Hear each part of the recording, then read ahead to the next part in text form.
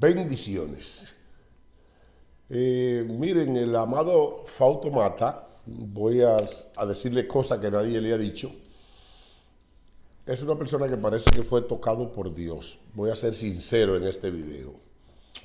Eh, parece que esta enfermedad donde él reconoció que estaba enfermo, eso fue muy noble y muy humilde de su parte. Hay gente que cuando se hacen figura pública, quieren ocultar sus enfermedades. Incluso hay, figuras públicas que han muerto y, lo, ocultan. Dicen, no, no murió. Porque no sé lo que quieren hacer. Con, quieren defender tanto la imagen de la figura pública que hasta niegan cualquier enfermedad o muerte. Bueno, pues Fausto salió y se enfrentó a su enfermedad que, que yo no creo que sea tan, tan una enfermedad esta que vaya a afectarle tanto su vida. Él se va a sanar, se va a recuperar de eso. Ahora sí, si tiene un problema de adicción y de poco sueño y de eso, que creo que es lo que él tiene, bueno, pues tiene que cuidarse, porque eso sí puede desembocar en cosas malas. Y te lo voy, voy al final a, darle un consejo a Fausto. Miren, déjenme hablarle un chin de cosas que ni siquiera yo he dicho de él y que él no sabe que yo sé de él. Fausto Mata es una persona única. Es una persona, es un humorista que el éxito lo atrapó, o sea, fue, fue atrapado por el éxito. Tú sabes que el éxito atrapa a personas. No es lo mismo tú vivir en un patio jugando dominó que tú ser solicitado por todo el mundo. Mira, te necesito para esto. Mira, te necesito para lo otro. ¿Cuánto te me cobras? Eso es algo que te, te altera los nervios porque te cotiza, porque te pone en un lugar privilegiado porque te pone en un lugar donde tú dices, wow, ¿y qué hago con mi vida? Porque todo el mundo me solicita, soy querido, soy amado. El gran problema de los seres humanos es cuando, cuando no se sienten, cuando sienten que la gente no lo quiere, eso se constituye en un problema. Bueno, pues Fausto Mata fue atrapado por esa fama que, que los hombres a veces no pueden resistir en el caso de Fausto Mata, yo diría que es una persona que ha asumido la fama con humildad, yo lo conozco, con todo lo contrario a lo que él piensa, que yo pienso de él. Para mí es uno de, los mejores humoristas dominicanos de todos los tiempos. Le voy a decir por qué, independientemente de los ataques que yo le hago cuando él me ataca a mí. Fausto Mata es una persona que no es un trabajador del humor, es una persona empírica, que llega a hacer boquepiano un show de su casa, de la nada, y allá revisa los libretos y ve todo, ok, vamos al aire.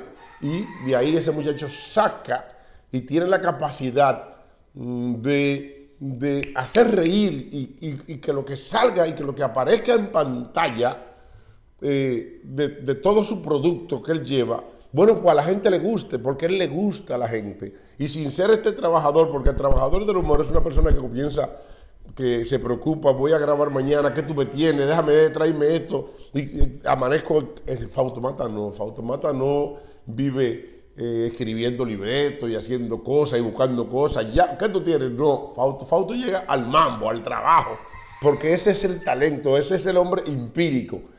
Igual con las películas. Entonces, fuera de si él no está haciendo películas y si no está un show, si no está haciendo cualquier actividad, si no está en un show, está bebiendo, está disfrutando y entonces eso no lo hace todo el mundo. Tú tienes este trabajo de humorista, porque yo trabajé mucho humor, tú tienes que compartirlo entre, la, entre el disfrute, el trabajo y la preparación del trabajo. Puedo decir que Raymond y Miguel, que han tenido mucho éxito, y la misma Chedi, son personas trabajadoras. Más Raymond y Miguel son gente, hormiguitas, son, el éxito de ellos se debe a que son buenos negociantes, han hecho buenos negocios y son hormigas trabajando, se, fajan a trabajar.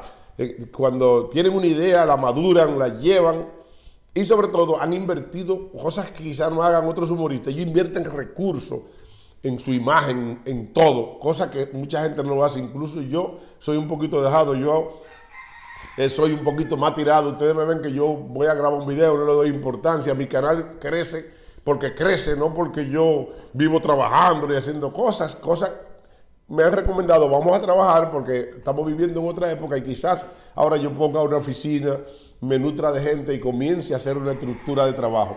Bueno, pues Raymond y Miguel son una persona que han hecho esa estructura de trabajo y son organizados y eso se ha traducido en éxito. Por eso quizás ellos han triunfado, incluso más que Alduey y que yo, que, éramos, que estábamos por encima de ellos. Nosotros no, no, vivíamos con esa mentalidad de negocio y de trabajo. Bueno, pues Automata ha triunfado sin eso, no, no, no, ese tipo organizado que vive, eh, que vive cuadrando cosas y haciendo cosas. Eh, o sea, eso es lo que yo pienso de él. Ahora, ustedes dirán, ¿y por qué tú dices eso de él si tú, le, tú vives tirándote con él? No, quiero aclarar algo. Yo no le tiro ni a Fausto, ni a Correa, ni a, ni a, Samuel, ni a, ni a ninguno. Yo no le tiro a ninguno. Lo que sucede es, y esto tengo que explicarlo, yo mi trabajo ahora mismo es un canal, este yo tengo un canal, que es este canal, que es un canal de creación de contenido. Yo tengo un canal de creación de contenido, se llama Félix Peña, con cientos, eh, casi 160 mil suscriptores. Y de eso es que yo vivo. creo contenido. Y si veo una gente, allí sucede algo eh, que, que Hipólito le tiró una pedra, bueno, pues yo publico. Eso es contenido. Que el presidente de Haití fue asesinado y que, bueno, eso es contenido, yo lo publico. Entonces, cuando tú agarras y dices, Felipe Peña no es nadie. Entonces yo, como creador, escuche bien, y esto va para el mismo Fausto y para su hermano y para todo yo, como creador de contenido, yo digo, ay, me tiró, me dio comida. Entonces Fautomata va al mañanero y dice, Felipe, esto Bueno, pues yo no le contesto. Quizás lo que yo publique no es, sino yo lo convoco un pequeño conflicto que se traduzca en contenido y que, que sea un contenido saludable y que me genere vista y view. Eso se hace y de eso es que se vive. Aunque, hay, aunque yo soy una persona que tengo mucho cuidado con el tipo de view que me entran. Pero si tú me tiras a mí, yo digo, bueno, me dio papa caliente. Entonces yo como creador de contenido, yo le contesto a él, no como persona, no como Felipeña, no como Felipeña y Rafael Luey, no como con lo que yo hice, no, no, no, nada de eso. Yo le contesto como creador de contenido y genero una polémica y eso se me traduce en el trabajo que yo hago. Quizás si Fausto va al mañanero y me tira, en un momento que ya yo estoy retirado, que, que tengo una pensión de 300 mil pesos como tienen los funcionarios del gobierno, estoy en mi casa, de casa de campo, o, soy como Roberto Salcedo, que me guardé, pues, Roberto Salcedo guardó, pues estoy en mi casa en casa de campo. Y él dice en el mañanero que yo no soy nadie, ¿qué me importa a mí? ¿Pero, ¿Por qué? Porque eso me va, me va a dejar, no le contesto, porque eso no me representa nada porque yo soy un hombre de acción toda mi vida, mi carrera artística, yo la he vivido por resultado. Si tú ves que yo digo algo en mi canal, respondiéndole o defendiéndome de alguien, es porque yo quiero generar contenido, no es porque yo de manera personal le tire.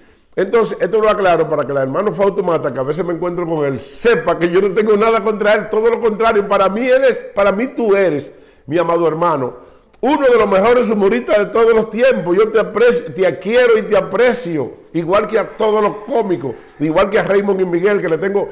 Si yo, eh, incluso un día le dijo algo a Raymond y Miguel, lo que pasa es que me respetan tanto, eso sí me respetan, que no me contestan por amor, le pusieron el nombre de su estudio a, su. le pusieron el nombre mío a su estudio. Y me quieren y me, respetan mucho. Fautomata no me respeta, me vocea cosas. El otro día me encontré con él en la Santiago y me dijo, ármate. Enfermo así. Eh, pero claro, jugando, porque en el fondo Fausto me quiere mucho también. Pero él piensa que, de verdad que lo que yo le digo eh, es tirándole y no ni Correa, ni, eh, ni, ni, ni Gerald. No, ahora, si ellos hablan de mí y dice Felipeña la que si yo queda la vaina, bueno, pues entonces yo digo, ay, me dio contenido y yo le tiro.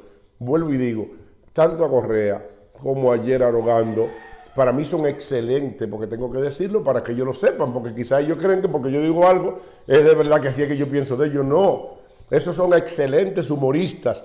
Toda esta generación de humoristas, escuche bien, mis amados hermanos, todo es, toda esta generación de humoristas que se dedican a hacer stand comedy, que hacen, para mí son excelentes. Ahora, yo soy una persona que yo sé cómo te busco los defectos porque, porque Dios me dio la virtud de si tú me tiras, yo saber defenderme. entonces ellos me tiran y yo digo, no han pegado nada nunca. Le hago un video, los cinco cómicos que nunca han pegado nada. Porque si tú te pones a ver, estamos viviendo en otra época, en la época en que trabajamos Cooking, Joy, era fácil tú sacar una frase y que se pegara. Ahora, es falso lo de que en aquel tiempo era más fácil de pegarse, negativo. Era hasta más difícil tú trabajar en televisión. No era más fácil, mis amados hermanos. Era más difícil y nosotros lo logramos. Pero yo tengo todo, todo respeto, toda esta generación de humoristas. De verdad que le tengo mucho respeto y creo que son excelentes.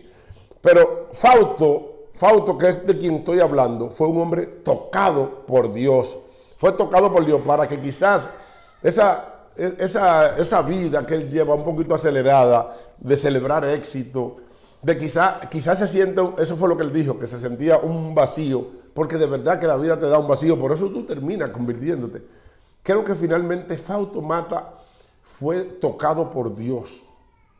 O sea, Dios está hablando con Fausto porque quiere que él le sirva, que él abandone la vida de de, rapidez no significa que deje de ser humorista, ¿no? Porque Raymond, Raymond, Pozo es un predicador y un humorista. Y él ha seguido haciendo su humor y, gana más dinero y no es pobre. Y, y Fautomata puede hacer lo mismo, porque no significa que abandone su carrera. Pero yo creo que Dios lo está llamando para que él se dedique a servirle. ¿Por qué Fauto? Porque te voy a decir algo que, yo, que tú no crees que yo te lo voy a decir. Tú eres una persona noble, tu corazón es una, es una persona que Dios le gusta, el tipo de gente como tú. Independientemente a todo lo que, lo que mucha gente piensa, a ti no se te ha subido la fama a la cabeza. Tú eres una persona que te mete en cualquier sitio a beber. Tú no te crees un producto. O sea, tú no dices, yo soy un producto. No, tú no cuidas tu figura de que yo soy un producto, espérate. No, no, no, no. no. Fautomata tú lo ves donde quieras, sentado en un colmadón de manera humilde. y repito, para mí es uno de los mejores humoristas de todos los tiempos. Fauto, escucha, es mi consejo final, escucha la voz de Dios, porque Dios está hablando contigo. Bendiciones.